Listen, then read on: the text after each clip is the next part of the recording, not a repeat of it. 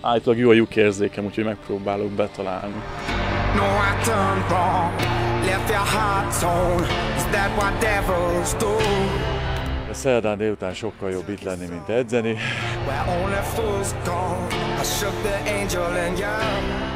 A felkészülési időszakban volt szerencsénk meglátogatni a füredi fiúkat, akik egy könnyed, de természetesen sportos csapatépítő tréningen vettek részt az egyik balatoni golfklubban. A kezdetben még bátortalan csapat eleinte kissé idegenkedve tekintett mind a golfpályára, mind pedig a golfütőre. De persze jól nevelt srácokról lévén szó, meghallgatták az eligazítást, és még a bemelegítést is lelkiismeretesen végigcsinálták.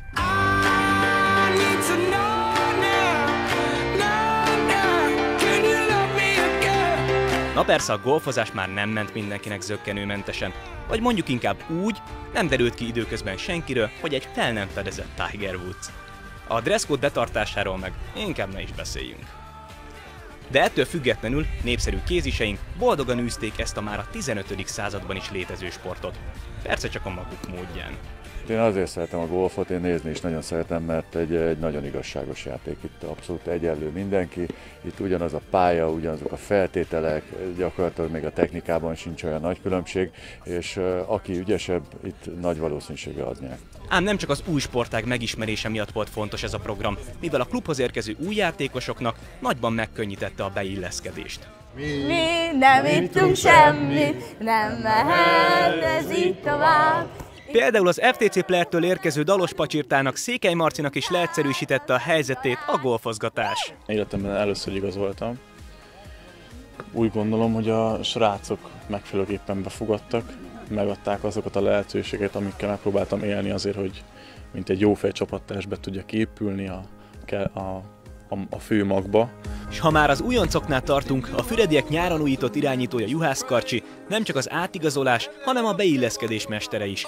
Megjárt már jó néhány csapatot, és hol ilyen, hol olyanok miatt kényszerült távozásra. Így ha valaki, akkor ő bizonyosan tudja, mi a könnyű beilleszkedés titka. Nem vagyok egy olyan bonyolult lélek szerintem, meg hamar megtalálom a srácokkal a közös hangot.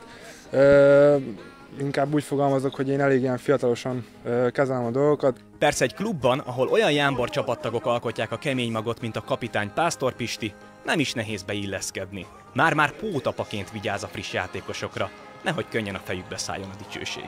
Abban kell azt hiszem a fiataloknak sokat segíteni, hogy akik, akik már ott vannak, hiányzik egy-egy lépés, elértek már valamit, hogy ezt, ezt a dolgot kezeljék, hogy, hogy, hogy megpróbáljanak úgy beintegrálódni ebbe a sportba, hogy kicsit visszavegyék azt, a, azt az önbizalmat, ami így hirtelen jött tehát a szerepek le vannak osztva, annak rendje és módja szerint a Balatonfüred KS-nél, és a tisztelet egyértelműen része még a közösen eltöltött szabadidőnek is.